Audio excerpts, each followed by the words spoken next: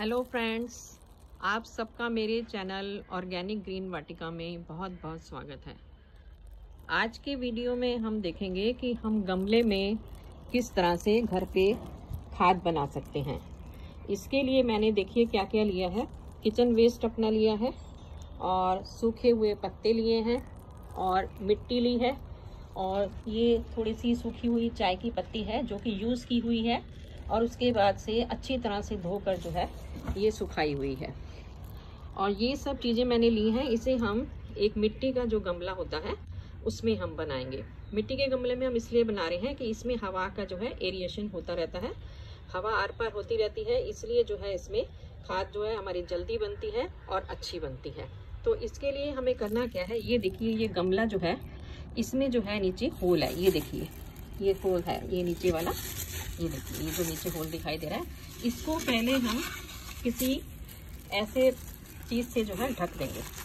ये देखिए। ये देखिए, ढक दिया मैंने इसको अच्छी तरह से। और इसके बाद मैं क्या करूँगी, इसमें सूखे हुए पत्ते डालूँगी।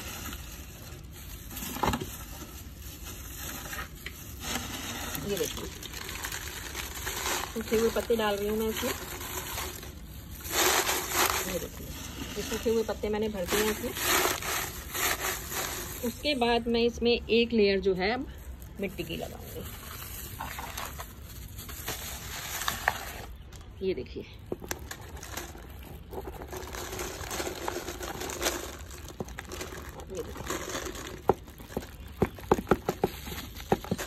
ये मिट्टी की मैंने लेयर लगा दी है इसके ऊपर। और उसके बाद फिर जो है इसमें मैं अपना किचन वेस्ट ये डालूँगी। ये देखिए। ये सब्जियों और फलों के छिलके हैं मेरे दो दिन के। इसे जो है मैंने इसमें डाल दिया है। ये देखिए।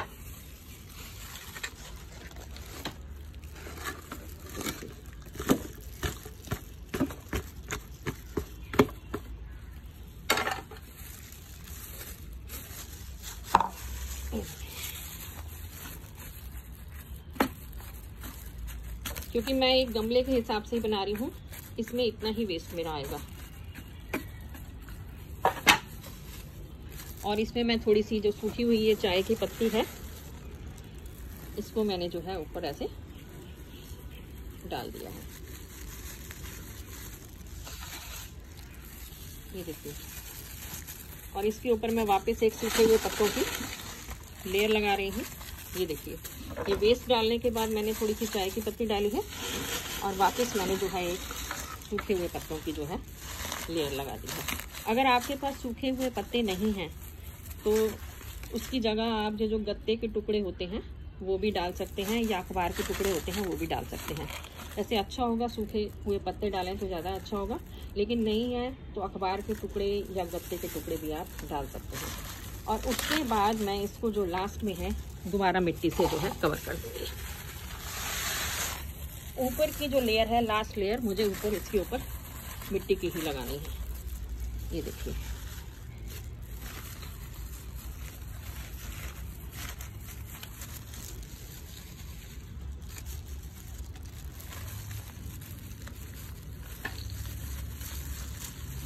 ये मिट्टी से बिल्कुल कवर हो जाता है देखिए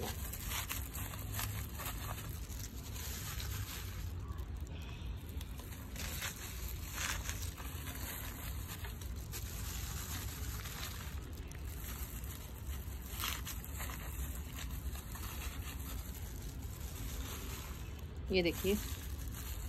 ये मिट्टी से बिल्कुल कवर हो जाए। मिट्टी से ढकने का ये फ़ायदा होगा कि इसमें जब डिकम्पोज होंगी इसकी, अंदर जो हमने कचरा भरा है सब्जियों और फलों के छिलके का तो उसमें से बिल्कुल भी स्मेल नहीं आएगी और जो उसका पानी निकलेगा, वो मिट्टी और पत्ते जो ऊपर नीचे हमने डाले हैं, सब एब्जॉर्ब कर लेंगे। मिट्टी तो आजकल गीली है क्योंकि बरसात में मिट्टी जो है गीली हो जाती है, थोड़ी बहुत गमलों में पड़ी हुई है या फिर लिफाफे में हम कहीं डाल के रखते हैं एक्स्ट्रा मिट्टी तो सब मिट्टी जो है वो गीली हो जाती है। ये देखिए आप, मिट्टी से जो है मैंने इसको जो है कवर कर दिया बिल्कुल। अब ये बिल्कुल कवर हो गया। ये देखिए, क्योंकि मिट्टी मॉइस्ट है तो मैं इसके ऊपर से पानी नहीं डाल रही हूँ। अगर मिट्टी ड्राई होती तो मैं ऊपर से थोड़ी सी दही का पानी खट्टी छाछ जो होती है, वो इसके ऊपर से थोड़ा डाल देती है ताकि मिट्टी मॉइस्ट हो जाती है। लेकिन मिट्टी बरसाते हैं, अपने आप ही गीली है तो जो है ये, बस ये इस तरह से कवर हो गया है बिल्कुल। अब मैं क्या करूँगी इसको? इसमें से किसी तरह की कोई स्मेल नहीं आएगी क्योंकि मिट्टी से कवर हो गया है ये। और अंदर सूखा भी जो है मटेरियल है, इसमें सूखे हुए पत्ते भी हैं। तो जो भी वेस्ट हमारा जो, इससे जो पानी निकलेगा, वो सब मिट्टी और ये सब पत्तों में एब्जॉर्ब हो जाएगा।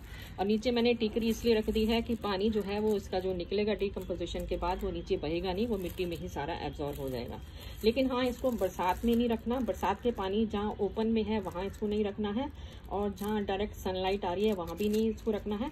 किसी ऐसी जगह पर, जो शेडी जगह है, वहाँ पर किसी कोने में इसको हम साइड में रख देंगे।